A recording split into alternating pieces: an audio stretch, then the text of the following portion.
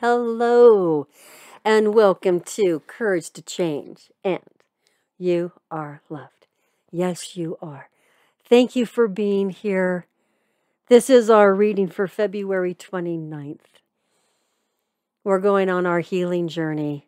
It is certainly my healing journey to do these readings, and my hope is that I am able to help somebody else out there. You know, Courage to Change is a book written for family members and friends of someone who has an alcoholic issue or addiction. These stories are powerful, and I believe they can help somebody else. That it doesn't have to be alcoholism, it could be another form of addiction, and these stories are powerful. So, my hope as I go on my journey, I can help somebody else out there. February 29th. I am told that the automatic pilot in an airplane does not work by locking onto a course and sticking to it.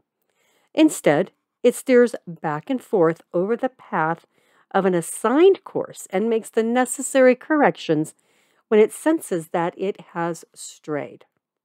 In reality, the autopilot is on course only 5 or 10% of the time, the other 90 or 90% of the time, it is off course and correcting for its deviation. I too make continuous adjustments. I am much more willing to do so be- because I have stopped expecting myself to be perfectly on course. I am bound to make plenty of mistakes.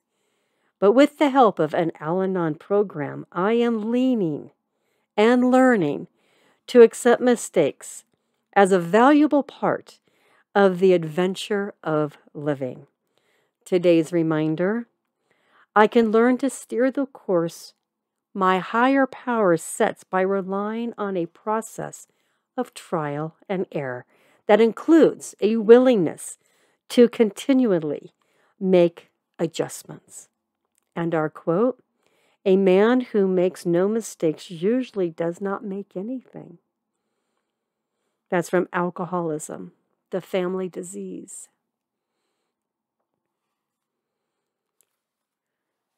Sticking on course, having a plan, trying to adhere to that plan, controlling to make sure that we stay on course. Life happens, my folks. Life happens, and we are going to pivot. we are going to switch directions. That's part of life. We don't want this strict, rigid way of living. That's just not living. We want to be able to adapt and do it with some grace and ease. And you know the quote a man who makes no mistakes usually does not make anything. And what really is a mistake? Maybe something didn't turn out the way we wanted to turn out.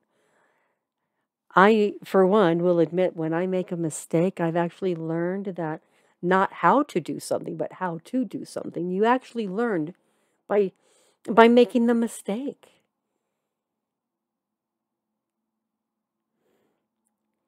Somehow, somewhere down the road, we look at our mistakes as these negative things. And actually, they're not. They're, they don't have to be negative. We should really flip the script on mistakes. What we should be saying is that we tried something and we created an, an end result, and that end result, well, it didn't quite turn out the way we thought it would, but it did turn out this way. Maybe accept the way it turned out. Or if you still want it to turn out a certain way, well, then keep trying until it happens. Just know that at least you're trying. It's better to try than not try at all.